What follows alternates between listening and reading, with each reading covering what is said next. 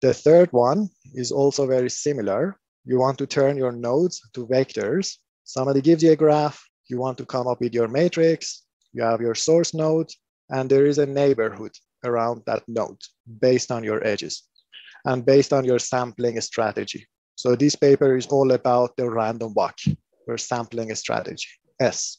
We know about the skipgram model. The skipgram model is gonna model the probability of this neighborhood, the neighborhood of that node based on its representation. Then you're gonna make a bunch of assumptions like conditional independence, which says that the elements of that neighbor or the members of that neighborhood are independent from each other as soon as you know the representation for you. There is some symmetry in feature space assumption also that you have the same representation as the input and the output.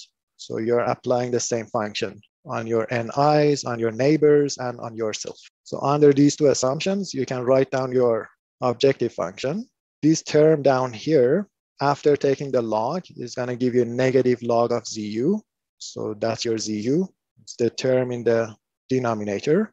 And the numerator, because this product after taking the log is gonna turn into a summation, it's gonna give you a summation over the neighbors in the neighborhood. We know that this is expensive to compute. That's why we are gonna use negative sampling. You show it some positive examples, some negative examples, and then you keep training them. So there is no surprises there.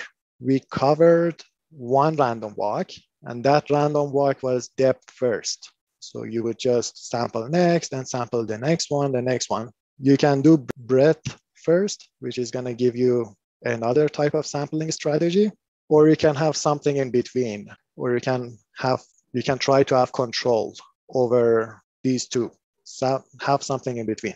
And that's the idea of this paper. So it's about your random walk. So let's go into a, more details. This is the ith node in your walk. First node, second node, third node. The first node is gonna be your U. Then you want to know what is the probability of you going to the node X, given that previously in your walk, you were at node V. If there is no connection between V and X, that's easy.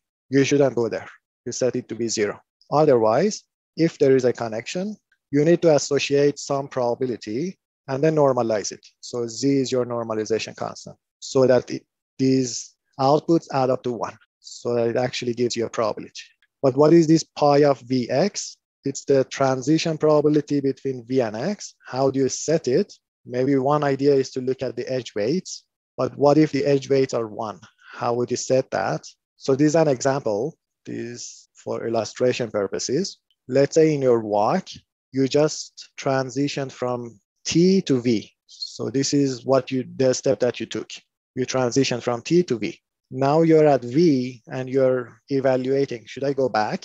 Should I go to X1? Should I go to X2? Should I go to X3? Yes, you're gonna multiply it by the weight on your graph, on your, on your edges. And then the other one is you can play around and parameterize your alpha by two hyperparameters, P and Q. And these are the exact hyperparameters that are gonna help you control. Do you want to do depth first or breadth first or something in between? Let's see why what is TDTX? What is your decision? What are you basing your decision on? Let's say this is the shortest path between two nodes, T and X. So what is the shortest path between T and T? It's zero. What is the shortest path between T and X1? So it's one, there is one edge here. The shortest path between T and X2 is two, one, two. The shortest path between T and X3 is two, one, two. And based on those numbers, you are choosing your, prob your probabilities. One of them is 1 over p, the other one is 1, the other one is 1 over q. But let's study these hyperparameters. If p is bigger than q and p is bigger than 1, what's going to happen? 1 over p is going to be less than 1. 1 over p is going to be less than 1 over q. So 1 over p is less than this number. It's also less than 1 over q it means that you're associating a lower probability of going back. In the other way, what happens if p is less than q and p is less than 1? So 1 over p is going to be bigger than 1. 1 over p is going to be bigger than 1 over q. So this is going to be the largest number. it means that you're associating a higher probability of going backwards. So you can associate a name to that hyperparameter. This hyperparameter is a return parameter.